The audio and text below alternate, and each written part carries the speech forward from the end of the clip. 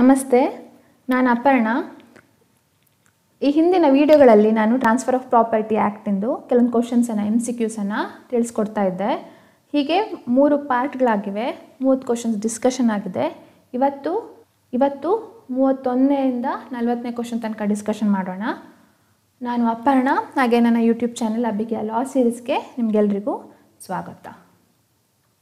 Thirty one question ಏನು ಹೇಳುತ್ತೆ? Which one of the following sections of T P act deals with doctrine of substituted security ಇದು ಒಂದು principle doctrine of substituted security ಅಂತ.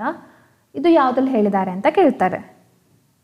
Usually ಮಾರ್ಗೇಜರ್ ಮತ್ತು ಮಾರ್ಗೇಜಿಗೆ ಕೆಲವೊಂದು rights ಇರುತ್ತೆ. ಮಾರ್ಗೇಜರ್ ಮತ್ತು ಮಾರ್ಗೇಜಿಗೆ ಒಂದು ಮಾರ್ಗೇಜ್ ಪ್ರಾಪರ್ಟಿ ಅದು ಲೀಸ್ ಕೂಡ ಆಗಿರುತ್ತೆ. ಆವಾಗ ಆ ಲೀಸ್ ರಿನ್ಯೂ ಆಗತ್ತೆ. ಹಾಗಿರುವಾಗ ಬೇರೆ ಪ್ರಾಪರ್ಟಿನ ಸೆಕ್ಯುರಿಟಿಯಾಗಿ ಮಾಡ್ಬೋದಾ? ಏನು ಮಾಡ್ಬೋದು ಅಂತ ಹೇಳುವಂತಹ ಒಂದು ಪ್ರಾವಿಷನ್ ಅದು ಯಾವುದು? ಸೆಕ್ಷನ್ ಸೆವೆಂಟಿ ಒನ್ ಅದು ಯಾವುದಕ್ಕೆ ಹೇಳುತ್ತೆ? Mortgagee right okay section seventy section sixty four mortgagor ರೈಟಲ್ಲಿ ಹೇಳುತ್ತೆ. ಇಲ್ಲಿ ಸಿಕ್ಸ್ ಸಿಕ್ಸ್ಟಿ ಫೋರ್ ಕೊಟ್ಟಿಲ್ಲ ಸೆವೆಂಟಿ ಒನ್ ಕೊಟ್ಟಿದ್ದಾರೆ. ಸೊ ಸೆಕ್ಷನ್ ಸೆವೆಂಟಿ ಒನ್ ಯಾವುದ್ರ ಬಗ್ಗೆ? ರಿನ್ಯೂವಲ್ ಆಫ್ ಮಾರ್ಗೇಜ್ ಲೀಸ್ ಅಂತ ಹೇಳಿ ಹೇಳುವಂಥದ್ದು. ಡೈರೆಕ್ಟಾಗಿ ಕೊಟ್ಟಿರುವಂತಹ section seventy one C is the answer next question which is the correct answer in the following ನೋಡಿ, ಇದರಲ್ಲಿ ಕೆಲವೊಂದು ಸ್ಟೇಟ್ಮೆಂಟ್ ಕೊಟ್ಟಿದ್ದಾರೆ. ಯಾವ್ಯಾವ ಪ್ರಾಪರ್ಟಿನ ಅಟ್ಯಾಚ್ ಮಾಡ್ಬೋದು, ಮಾಡಬಾರ್ದು ಅಂತ ಹೇಳಿ.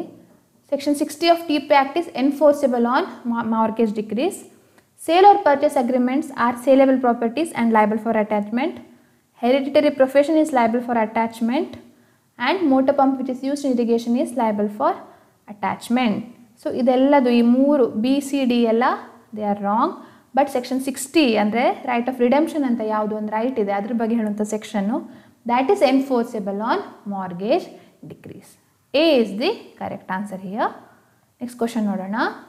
ಇದೊಂದು ಕೇಸ್ ಲಾ ಕೊಟ್ಟಿದ್ದಾರೆ.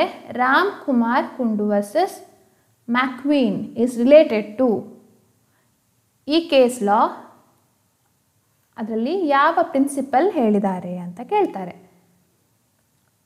ಡೈರೆಕ್ಟ್ ಆಗಿರುವಂಥ ಕ್ವಶನ್ ಇದು ಆಸ್ಟೆನ್ಸಿಬಲ್ ಓನರ್ ಅಂತ.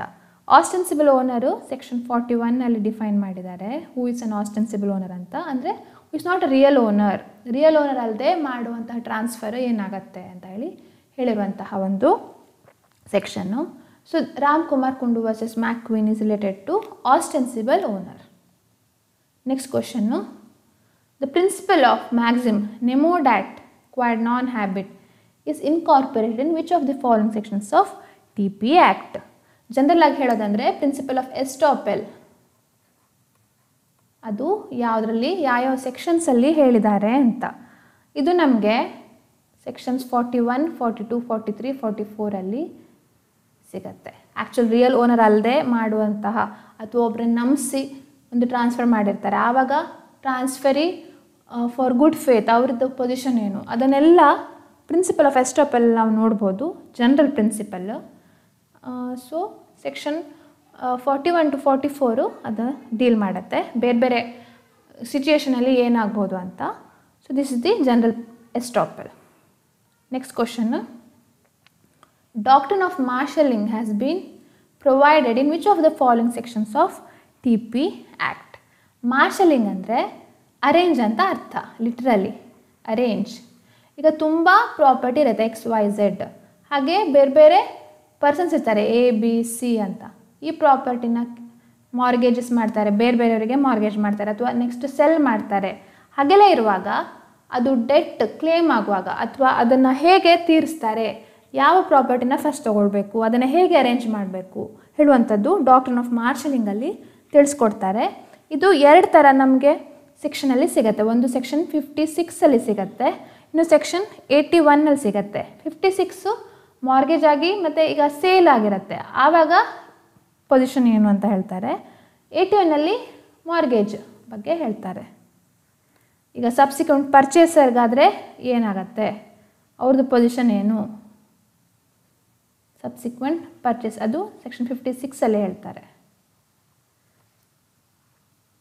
ಓಕೆ ಆ್ಯಂಡ್ ಏಯ್ಟಿ ಒನಲ್ಲಿ ಡಿಫ್ ಮಾರ್ಷಲಿಂಗ್ ಸೆಕ್ಯೂರಿಟೀಸ್ ಅಂತ ಹೇಳಿದ್ದಾರೆ ಎರಡು ಹೇಳುವಂಥದ್ದು ಒಂದೇ ಕಾನ್ಸೆಪ್ಟು ಹೇಗೆ ಅರೇಂಜ್ ಮಾಡಬೇಕು?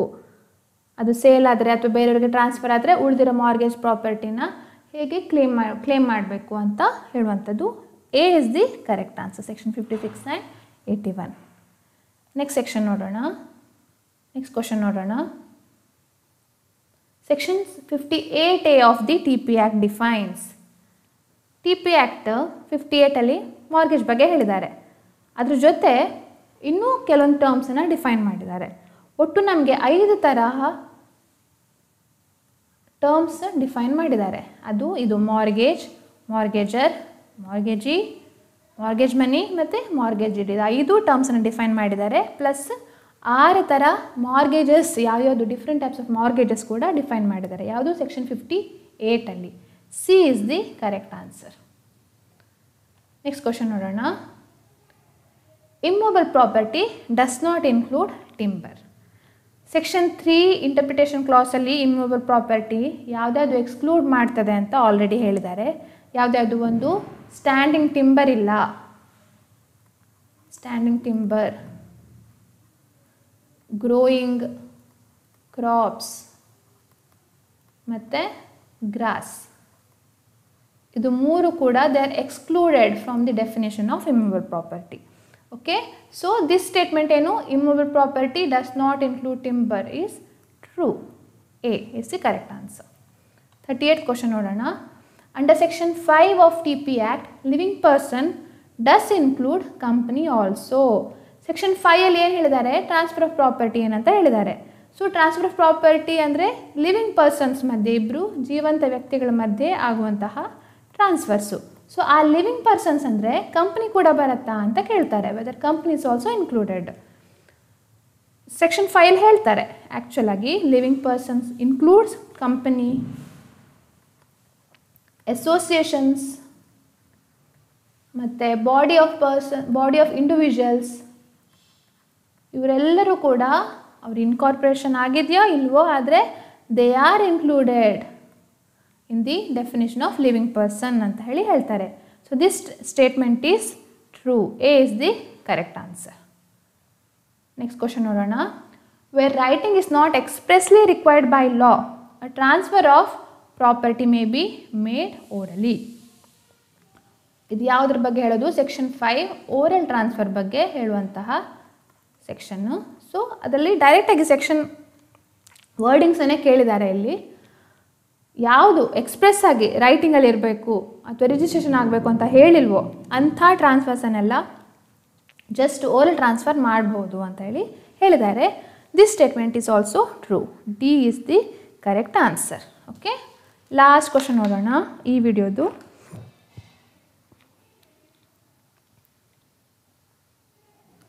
Transferee of the part performance has right to protect his possession ಹಾಗಂದ್ರೆ ಏನರ್ಥ ಇಲ್ಲಿ? ನಾನು ಆವಾಗಲೇ ಹೇಳಿದಾಗೆ ಅದೊಂದು equitable principle of English law ಯಾವ ಸೆಕ್ಷನ್ ಹೇಳಿದ್ದಾರೆ? Section fifty three A of T P act part performance ಅಂದ್ರೇ ಟ್ರಾನ್ಸ್ಫರಿಗೆ ಪೊಸೆಷನ್ ಬಂದಿರುತ್ತೆ. ಟ್ರಾನ್ಸ್ಫರಿ ಇನ್ ಪೊಸೆಷನ್ ಅಂತ ಅವನಿಗೆ ಕರೆಯಲ್ಪಡ್ತಾರೆ.